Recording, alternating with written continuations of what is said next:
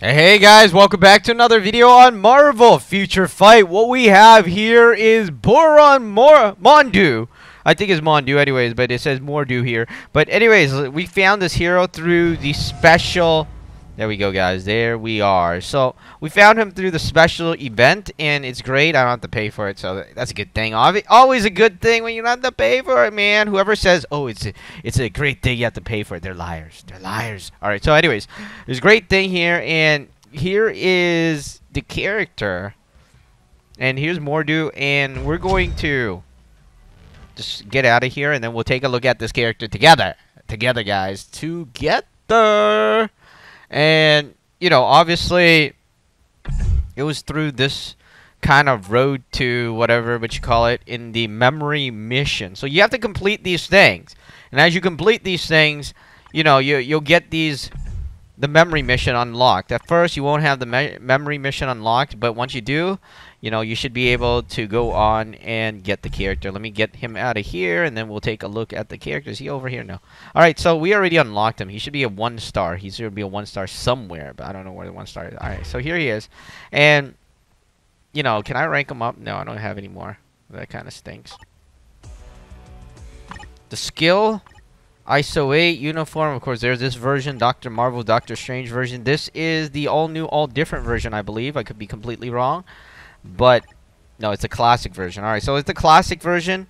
And to actually rank them up, you need to find the thing from the epic, I mean, from the memory quest again. So that's going to take me a while. But of course, oh man, I don't have any rank up tickets. It's horrible. Alright, so anyways, let's just go on in there and then we'll take a look at the animation a bit later. I want to go on in here to take a look at the skill. And luckily they numbered the skill. This is what I like. This is what's good. They numbered the skills. Alright, so let's check out this character together and Oh hey, he does some zapping stuff. That's pretty cool. That's really cool in fact. Alright, so let's look at the first move. Oh, that's kind of slow, isn't it? That's kind of slow and heavy. Look, it takes him like a few seconds to actually get into stance and then fire. Second one. Okay, that's pretty cool. No, no, I'm stopping there. That's pretty cool. Second move is pretty cool. Yeah, look at that zap and teleportation. Third move.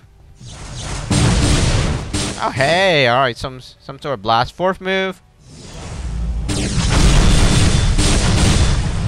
Oh, you know, I actually like that one. Let's look at the fourth move again. Big wide circle brings them up and then slams the enemy. The last move. Ultimate move. Oh, the mortal burn. I don't know what it's called. But let's get back out of there. So that's how you get the character.